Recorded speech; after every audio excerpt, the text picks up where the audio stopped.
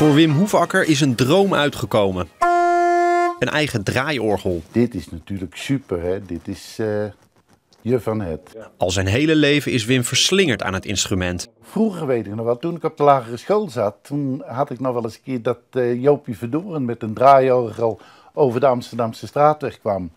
En ik hoorde hem, dan ging ik daar naartoe. En dan ging ik niet meer terug naar school. Na zijn pensioen besloot Wim zelf een draaiorgel te bouwen. Dan hebben we eigenlijk een oud orgel gekocht. Dat hebben we daarna gesloopt en de goede onderdelen weer bewaard. En nieuwe dingen hierin gezet. En ja, dat is dit orgel geworden. Tweeënhalf jaar werk is dit. En het resultaat mag er wezen.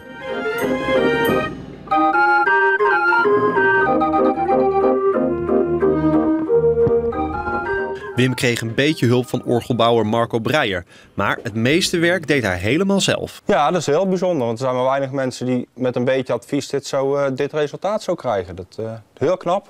Wim kan nu elke dag van het draaiorgel genieten. En dat doet hij dan ook met volle teugen. Dan weet je niet wat je hoort als hij dan begint te spelen. Ja. Wat is dat voor gevoel? Nou, ik had tranen in mijn ogen. Ja.